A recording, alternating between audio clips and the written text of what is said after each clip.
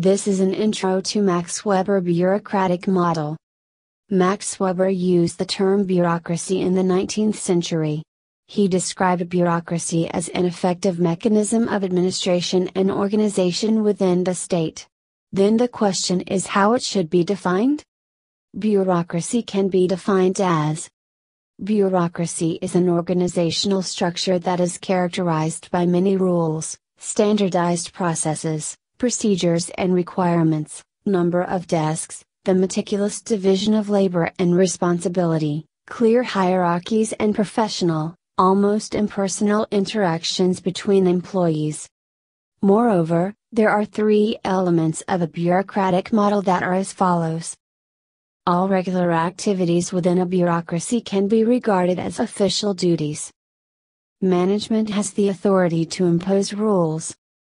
Rules can easily be respected based on established methods. It is considered to be the most formalized and ideal form of management for a state in classical conception.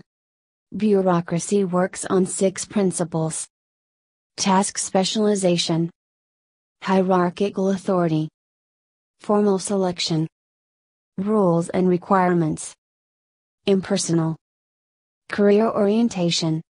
More so. As far as the merits of bureaucratic model are concerned. In larger organizations, the division of labor is a useful tool to be more structured and systematic in its function.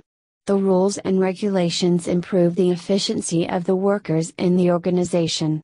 Furthermore, the hierarchy helps in maintaining control and increasing the output of the organization. The bureaucratic model has its demerits along with merits like any other model of governance.